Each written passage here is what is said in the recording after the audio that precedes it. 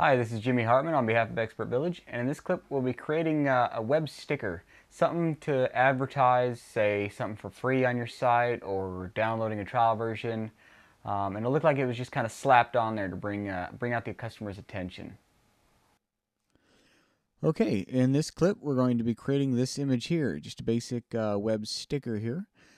Uh, not too much involved with this one, and you can kind of experiment with the shape to kind of give you all kinds of different effects or styles that you're looking for. So first things first, let's go ahead and start out with a new file here. I'm going to go ahead and close this one. Go File New. I'm going to leave it at 350 by 350.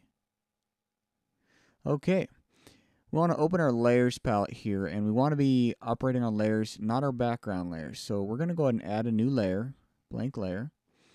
And then we're going to use a custom shape or a polygon tool here. So right here you've got your polygon tool. You can click and hold to select it if you want to find it here. Or you can come up to the top and select polygon tool here. Now I've already got sides set to 14 because I was just doing this uh, tutorial. And in this drop down menu for your custom shape, go ahead and make it star and indent sides by 25%. Real quick what that does, I think the default is 50%. So if you're to draw a star here, oh, I'm going to have to change my color. Draw a star. And now if we change our indent sides to 25, which is what I had it before, go ahead and draw it. You can see that these edges here don't come in as far towards the center. So that's all that does and control Z and control alt Z to get rid of those. All right, make sure our new layer is selected.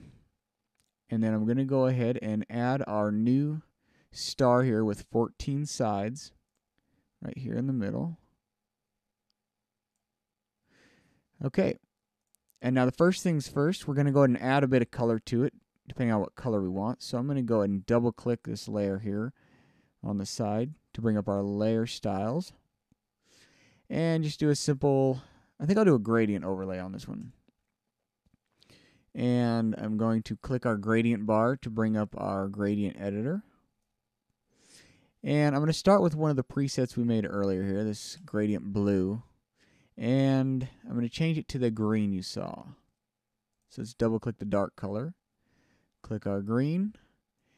And I'll have it right about there, looks good and double click our light color set our hue to green again and come in here with a light green.